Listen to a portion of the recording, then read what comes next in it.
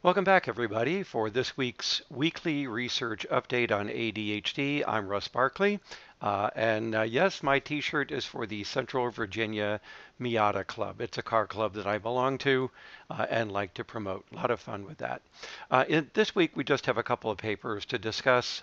All the rest of them are in the thumbnail sketch description that goes with this uh, this week's update, uh, but it, there wasn't an awful lot there to discuss. Probably a bit of a slow summer right now with regard to research. Nonetheless, there were three that I thought were noteworthy, and let's have a look at them uh, one at a time. The first review that you see here uh, was an actual meta-analysis of other meta-analyses. So uh, very interesting approach here to looking at research on the prevalence of ADHD in children and adolescents uh, in this journal. This with uh, uh, due regard to the limitations of these studies, uh, it, it's an important paper because it involves a huge number of subjects and studies. This particular review was published in the Journal of Affective Disorders, as you see here. And let's cut to the chase and see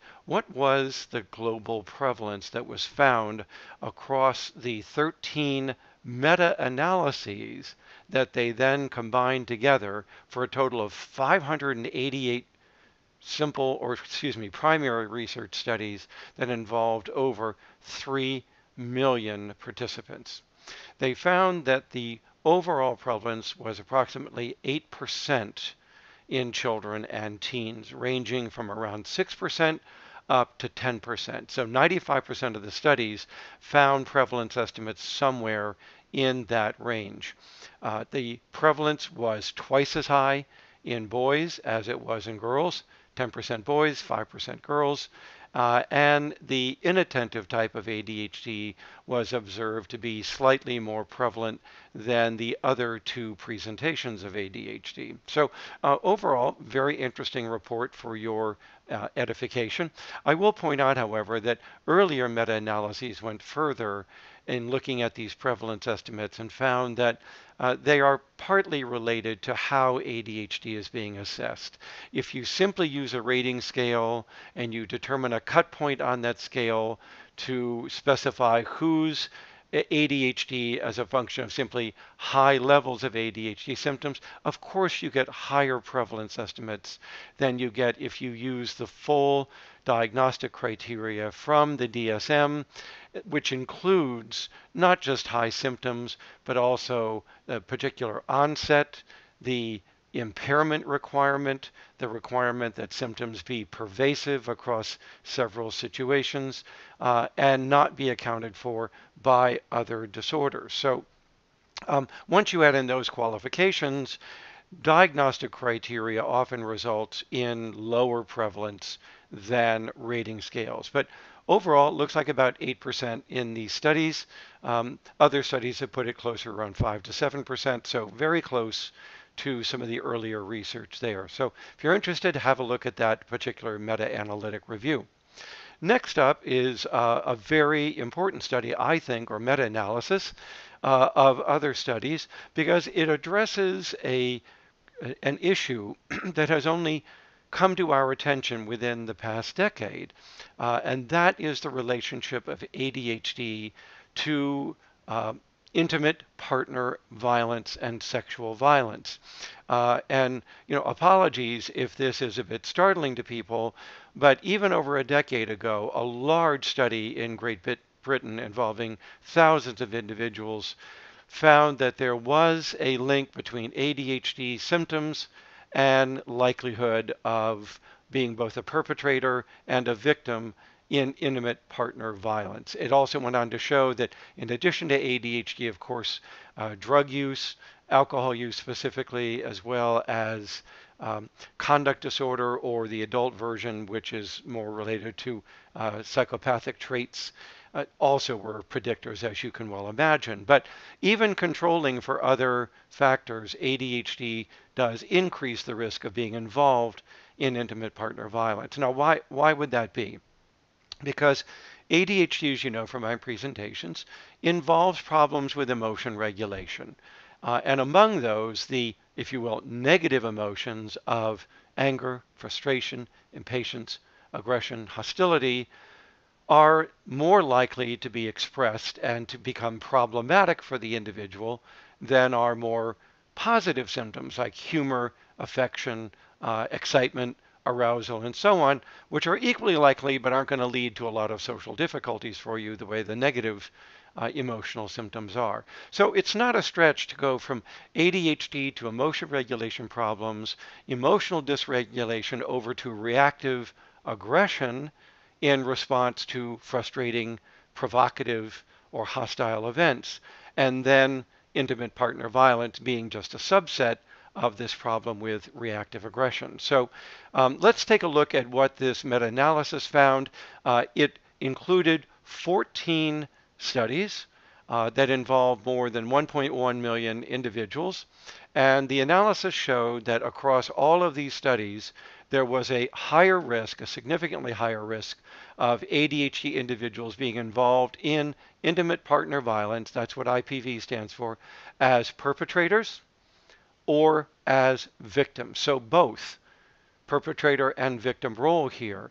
Uh, also, individuals with ADHD were more likely to be at increased risk of perpetrating sexual violence in their intimate relationships, but also were more likely to be the victims of sexual violence as well. So again, cuts both ways. ADHD predisposing you to committing intimate partner violence, but also predisposing people to being the victim or object of such violence. So, and we've talked why that would be the case previously in my other presentations uh, that pertain to ADHD, and that is that ADHD leads to problems with self-regulation. That leads to difficulties with impulse control, being disinhibited, not evaluating situations the way other people will, maybe impulsively putting yourself into situations where there's more likely to be a risk of violence, in this case, partner violence and sexual violence. But there it is, the link again being demonstrated across multiple studies that there are risks here posed for people with ADHD in terms of partner violence. So uh, you can have a look at this review. It appeared in the journal Psychological Medicine uh, earlier this past month. Finally, I want to end uh, with a study that was published in Drugs and Therapy Perspectives. Uh, this is really more of a commentary than a study but it discusses what I think is a, a, very important issue for families, and that has to do with the early morning disruptive behavior that ADHD children and teens pose to their families. Uh, this is especially so on school mornings when not only this child but siblings may need to be gotten up, gotten dressed, fed, uh, gotten ready for school, out the door, and so on. But you also have uh, one or both parents who also have to get themselves ready to leave for work or to deal with other issues outside the home. So there's a lot going on in morning hours in families with ADHD that ADHD presents a great deal of stress and disruption for these families. Now, you would say, well, if the child's on medication, doesn't that help? Yes, but it can take 30 minutes to an hour and a half for the different versions of ADHD medications in order to activate and get themselves to a therapeutic level where they help the family during that time. And usually by then, the morning hour is pretty much over in terms of getting up and out the door. and so these drugs really are more of a benefit to the school when the child arrives there, they're activating, than they are to the family. So, how do we deal with this very distressing time of day for families? Well, one is that a drug company came up with a new delivery system called Jornay PM that is taken at night. This is a methylphenidate, which is Ritalin, a methylphenidate product, but it is designed into a delivery system in such a way that it is taken in the evening, say 9 o'clock, and then it automatically activates the next morning about nine hours later about 6 a.m it starts to activate again. So that by the time the child is waking up there is a therapeutic blood level of the medicine there to help manage these early morning problems. Now, besides that, alternative ways of dealing with these early morning problems are to use the methylphenidate skin patch, the transdermal patch, which could be applied to the child in the morning when the parents get up, placed on the child's body, usually on the shoulder or the buttocks, and it begins to deliver medication while the child is still perhaps sleeping or beginning to slowly wake up and start their day. So that might be another alternative. Uh, a third is to look at the non stimulant drugs like the norepinephrine reuptake inhibitors, Strattera, atomoxetine is one, is another, or look at the antihypertensive drugs, which are guanfacine and clonidine. Uh, these drugs can be delivered in split doses, half in the morning, half in the evening to assist with not only getting to bed uh, at a better time, uh, but also to carry over into the next day. So that uh, drugs like atomoxetine sort of cover behavior 24 7 when they're taken. They're not washing out as quickly as the stimulants are, and therefore leaving the child or teen unmedicated the next morning. So, where there is a morning problem and the other solutions I've suggested with medicine aren't helpful, uh, or aren't being used, then you can do split dosing to assist with that along with, of course, counseling parents about various behavioral management strategies that they can use in the morning to deal with this disruptive behavior.